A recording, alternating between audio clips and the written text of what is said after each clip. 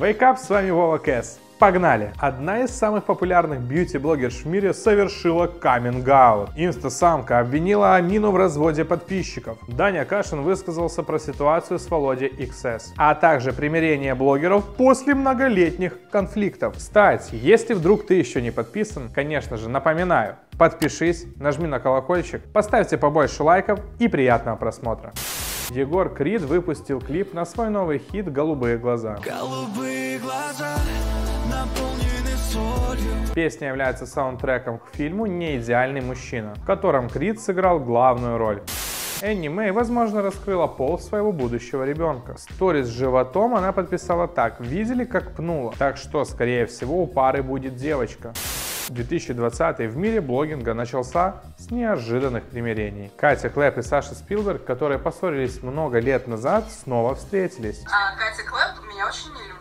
Так вышло. Помирилась также Мари Сен с Игорем Синяком. Синяк и другие блогеры не раз обвиняли Мари в лицемерии. Сейчас очень многие пишут то, что я, да, там, лицемерка. Честно, я до сих пор не знаю, что это такое. Марисена, я ее не люблю. Я просто не люблю тех блогеров, которые на видео одни, а в жизни совершенно разные люди. О вот этом блогерском лицемерии. Да, Приведи какие-то конкретные примеры. Самый яркий пример я могу привести с Марисен. Девушка устала и сама позвонила Игорю, чтобы закончить вражду. Маша извинилась за то, что была неправа. Я извинился за то, что был неправ. Извини, Игорь, извините. Паблик ВПШ. Более того, блогерша заявила, что больше никому не испытывает негатив. У меня ко всем только позитив. И я прошу у всех прощения. Инстасамка обвинила Тендерли Бэй в обмане подписчиков. Мол, Амина постоянно рекламирует разводняки. А на вопрос, зачем она так поступает с подписчиками, Амина ответила, я лечу маму, поэтому и рекламирую разводы. Самка пишет, что у нее мама тоже болеет, но она лечит ее на честно заработанные деньги. Что скажете, рекламу обмана на деньги можно оправдать лечением близких? Я что-то не понял, получается можно ограбить банк или натворить другую хуйню и прикрываться больными близкими? Одна из самых известных бьюти-блогеров в мире, Ники Туториал, совершила каминг-аут. Она призналась, что на самом деле родилась мужчиной. When I was younger, I was born in the wrong body, which means that I am. Уже с детства она носила женские наряды, а в 14 начала свое полное превращение в женщину. Интересно, что Ники ведет свой канал более 10 лет, и никто даже не догадывался о том, что она бывший мужчина. Ролик девушки попал в тренды десятки стран и за сутки набрал 20 миллионов просмотров и 2 миллиона лайков.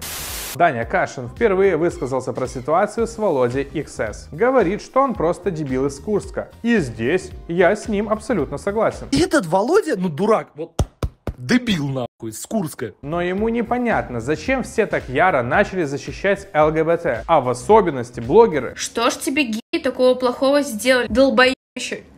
Ведь какой-то тиктокер не несет никакой опасности. А где их тут надо защищать?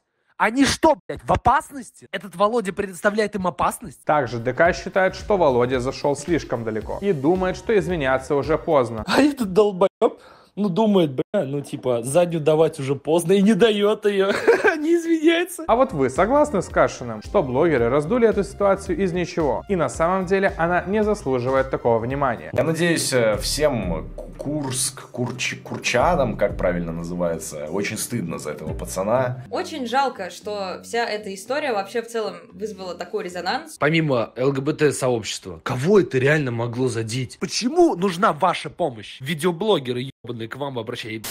Здесь предыдущее видео.